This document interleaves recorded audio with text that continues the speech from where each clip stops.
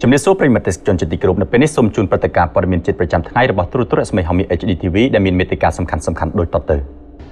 កម្ពុជាបានរៀបចំគោលនយោបាយជាតិស្តីពីការអប់រំបណ្ដុះបណ្ដាលបច្ចេកទេសនិងវិជ្ជាជីវៈដើម្បីឆ្លើយតបទៅនឹងតម្រូវការទីផ្សារការងារ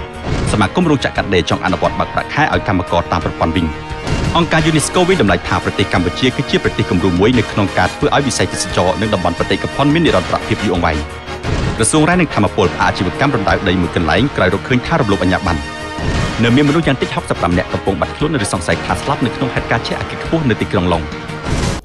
រីឯក្រុមអង្គការមេរដ្ឋាភិបាលនៅក្នុងប្រទេសកម្ពុជាបានជំរុញលើកទឹកចិត្តឲ្យយុវជនចូលរួមជាមួយមន្ត្រីរាជរដ្ឋាភិបាលនៅក្នុងដំណើរការរៀបចំថវិកាជាតិដើម្បីឲ្យមានដំណាភាពថវិកានិងបានបម្រើចំទិសដៅដែលប្រជាប្រដ្ឋកម្ពុជាចង់បានលោកទឹកវណ្ណរានាយកប្រតិបត្តិវេទិកានៃអង្គការមិនមែនរដ្ឋាភិបាលស្ដីពីកម្ពុជាហៅកាត់ថា NGO Forum បានប្រាប់ទូរទស្សន៍រស្មីហមី HDTV ថា យុវជនកម្ពុជាសប្តាហ៍នៅឆ្ងាយពីការរៀបចំថវិកាជាតិអាស្រ័យដល់យុវជនមិនបានដឹងពីសារៈសំខាន់និងគប់សំជាមួយនឹងការមិនបានបើកចំហព័ត៌មានស្ដីពីការរៀបចំផែនការថវិកាជាតិរបស់រដ្ឋាភិបាលនេះនៅក្នុងវេទិកាស្ដីពីទូនីតិរបស់យុវជននៅក្នុងដំណើរការរៀបចំថវិកាជាតិដែលរៀបចំឡើងដោយ NGO Forum កាលពីថ្ងៃទី15ខែមិថុនាលោកទឹកវណ្ណរាចង់ឲ្យយុវជនបង្កើនចំណេះដឹងទៅលើដំណើរការថវិកានៅថ្នាក់ជាតិនិងថ្នាក់ក្រោមជាតិដើម្បីឲ្យដំណាភាពថវិកាសម្រាប់ការអភិវឌ្ឍជាតិនិងបំពេញសេចក្តីត្រូវការរបស់ប្រជាពលរដ្ឋពិតប្រាកដនៅក្នុងជីវភាពរស់នៅ។ យើងឃើញយុវជនក៏មានតួនាទីសំខាន់ណាស់នៅក្នុងការអភិវឌ្ឍសង្គមហើយបើយើងមើលទស្សនវិជ្ជាចាក់ស្ដែងមានកម្លាំងចលករនៃការអភិវឌ្ឍសង្គមកម្ពុជាបច្ចុប្បន្នគឺស្ថិតនៅលើកម្លាំងយុវជនណាហើយលទ្ធផលនៃការបោះឆ្នោតតងក្រមប្រឹក្សាឃុំសង្កាត់ថ្មីថ្មីនេះក៏បង្ហាញថាអឺសមាជិកភាពតកតងដែលជាសមាជិកក្រុមប្រឹក្សាឃុំសង្កាត់ដែលចេញពីយុវជនជាមេឃុំអីហ្នឹងឃើញមានការកើនឡើង ចឹងតកតងការកសាងសមត្ថភាពគាត់ទៅលើតកតងអឺការចូលរួមនៅក្នុងដំណើរការរៀបចំតកតងថវិកាជាតិក៏ដូចជាការតាមដានត្រួតពិនិត្យគឺមានសារៈសំខាន់ពីព្រោះថាបើយើងមើលនៅថ្នាក់ក្រោមជាតិយើងឃើញថាគាត់មានទួនាទីដោយស្វ័យប្រវត្តិហើយ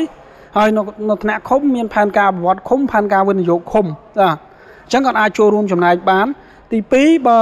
យើងមើលនៅថ្នាក់ក្រោមជាតិមិញបើយើងមើលនៅថ្នាក់ជាតិគឺយើង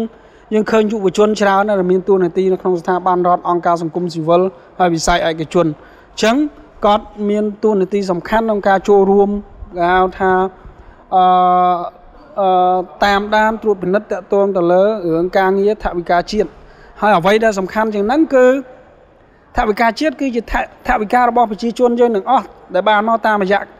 ពីការបងពុនរបស់ពួកគាត់ ចឹងការចូលរួមត្រួតពិនិត្យតាមដាន គឺមានសារៈសំខាន់ដើម្បី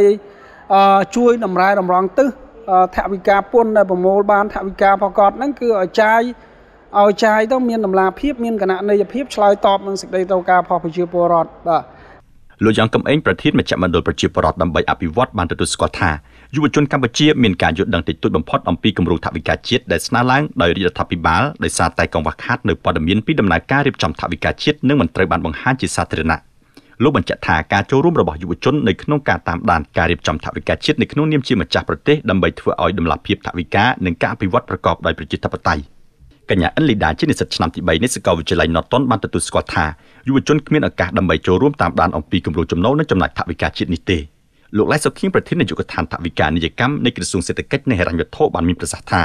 រាជរដ្ឋាភិបាលបានផ្សព្វផ្សាយព័ត៌មានតាមគេហទំព័រនៃគ្រប់ដំណាក់កាលនៃការរៀបចំថវិកាជាតិទាំងក្នុងកម្រិតឃុំសង្កាត់និងថ្នាក់ជាតិដើម្បីឲ្យប្រជាពលរដ្ឋក៏ដូចជាយុវជនបានលើកពីតម្រូវការសម្រាប់ការអភិវឌ្ឍនៅក្នុងមូលដ្ឋានរបស់ខ្លួន។